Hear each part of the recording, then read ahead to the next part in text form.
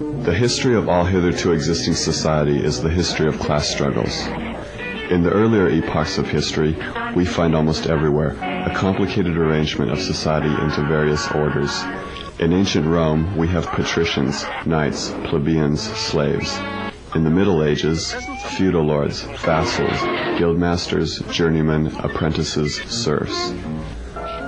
Our epoch, the epoch of the bourgeoisie, possesses, however, this distinctive feature. It has simplified class antagonisms. Society as a whole is more and more splitting up into two great hostile camps, into two great classes directly facing each other, bourgeoisie and proletariat.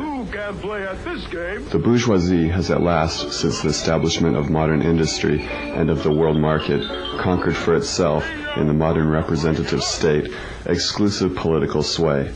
The executive of the modern state is but a committee for managing the common affairs of the whole bourgeoisie. The bourgeoisie has stripped of its halo every occupation hitherto honored and looked up to with reverent awe. It has converted the physician, the lawyer, the priest, the poet, the scientist into its paid wage laborers. It has left no other bond between people than naked self-interest, than callous cash payment. It has resolved personal worth into exchange value, and in place of the numberless indefeasible chartered freedoms, has set up that single unconscionable freedom, free trade. In one word for exploitation, failed by religious and political illusions, it has substituted naked, shameless, direct, brutal exploitation.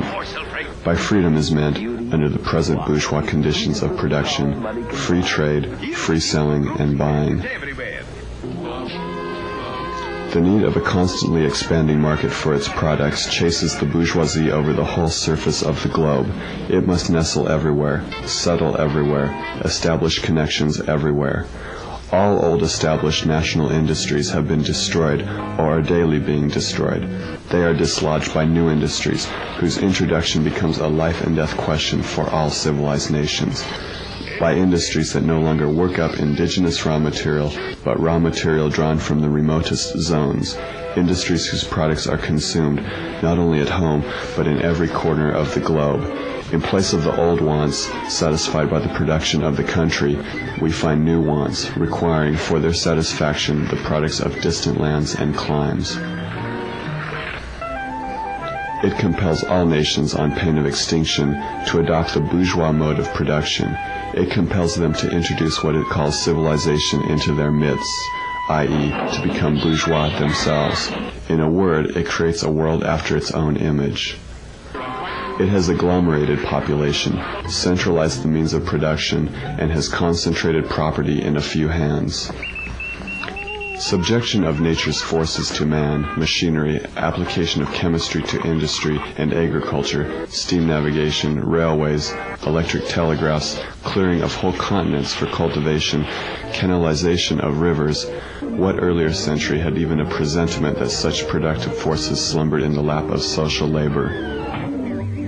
Modern bourgeois society, with its relations of production, of exchange, and of property, a society that has conjured up such gigantic means of production and of exchange, is like the sorcerer who is no longer able to control the powers of the netherworld whom he has called up by his spells.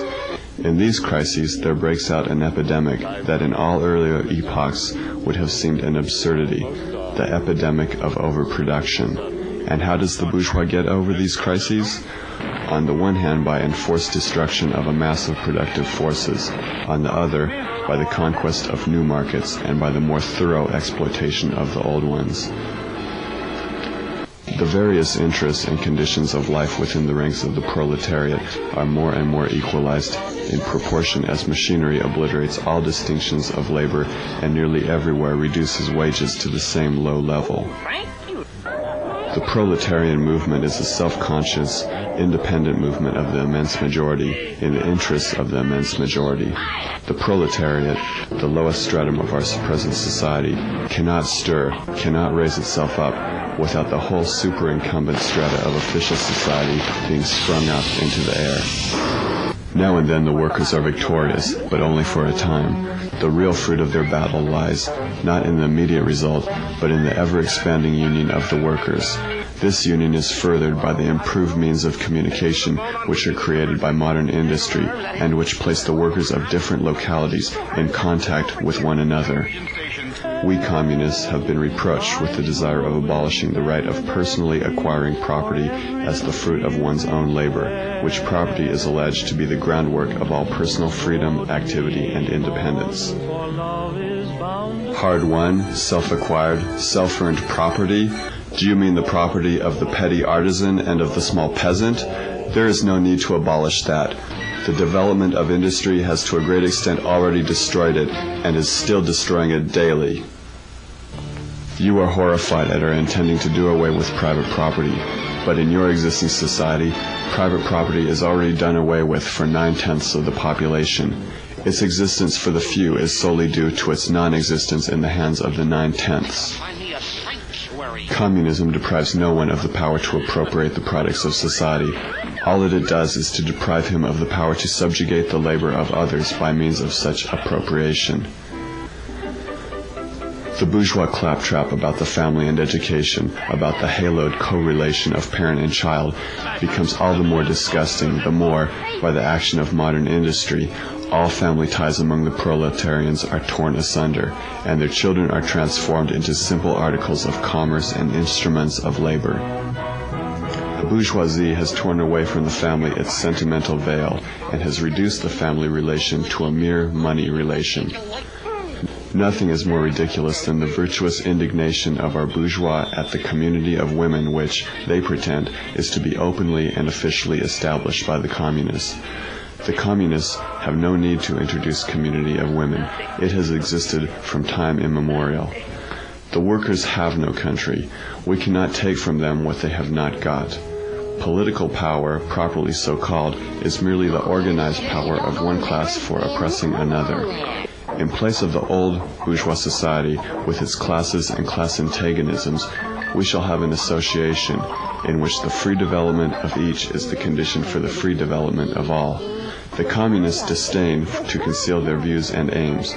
They openly declare that their ends can be attained only by the forcible overthrow of all existing social conditions.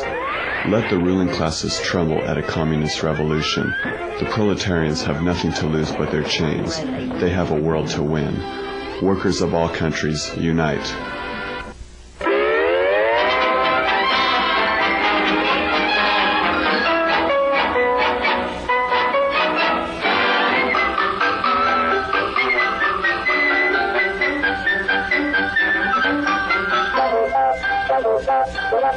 どうぞ。